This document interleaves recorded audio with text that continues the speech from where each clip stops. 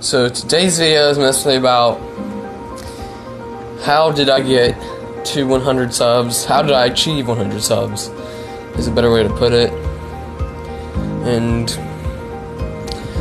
well, for the most part, achieving 100 subs felt great at first, but you know, kind of drifted away from it now. But at first, what I done to get to even 50 subs on my channel was I went around and I started telling people.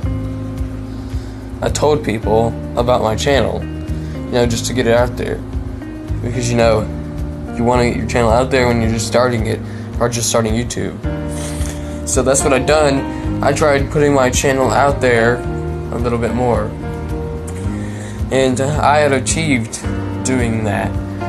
Now that's not how that's not the main story about how I got 100 subs because I mean I just only started off with like 50 and then I grew even more by the couple of years that's gone past. So I mean how did I get 100 subs, you may ask? I had figured out what I had done first was I googled up and I searched and watched videos on how like how to get subs daily and this one video I come across actually helped because you know I come across this one video that told me about sub for sub. No, I was like, hmm, I done tried sub for sub before on a different app, and I mean, it didn't work like I wanted it to. So, I mean, this time I was actually pretty confident that this time sub for sub was gonna work, and it did. Sub for sub worked to get me to what I am right now, which is 196 subscribers. It worked. So, I mean, if you're looking into if you're like a small channel on YouTube and you're just needing help, like you know, like with subs, you want some subs on your YouTube channel. First and foremost, step one is to spread it. Spread your YouTube channel name. Like, tell people about it, tell friends, you know. Just, like, spread it around. Like, your channel get your channel to spread around. And if your channel spreads around, then, I mean, people are going to know about it. And they're going to search it up. But, I mean, you have to I actually stress the word. That's what I did. That's what I did. Was I stressed the word about my YouTube channel. I stressed it. I was like, go subscribe to me right now.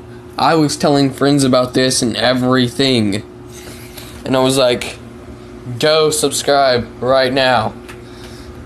And that's how I got like about 50 subs on YouTube. The rest of my subs from about probably about 60 and up came from sub for sub, which I had no idea back then, and now I have an idea of what sub for sub actually is. I didn't get the picture back then, but now I get the picture. So, that step two actually to get to getting subs is you can do sub for sub or you can just get your channel spreading around. What I would do if I were you is just post my channel, like take screenshots of your channel, post it all over social media, get it going. You know, I mean, that's how most stuff gets going. I mean, you have to have good content too.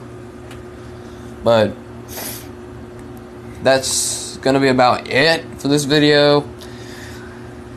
I mean, you can comment and put whatever you want. I mean, if you're a small channel, then you can tell me, and I will try my hardest to stress the word about your YouTube channel if you want me to. That's gonna be it for this video. Peace out.